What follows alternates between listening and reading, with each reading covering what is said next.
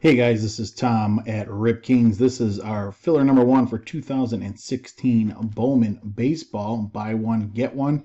I've got Dan with spot one, Calvin with spot two and three, Joseph with spot four, Michael with spot five, Chris with spot six, Joseph with spot seven, Michael with spot eight, Dan with spot nine, and Stacy with spot number 10. I'm going to go ahead down here and type in live.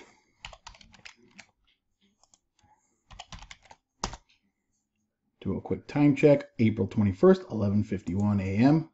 11:51 a.m. We're going to do a dice roll. It's got to be larger than 3. It is 7. Here we go. 7 times. Calvin on top. Stacy after 2. Dan after 3. Dan after 4.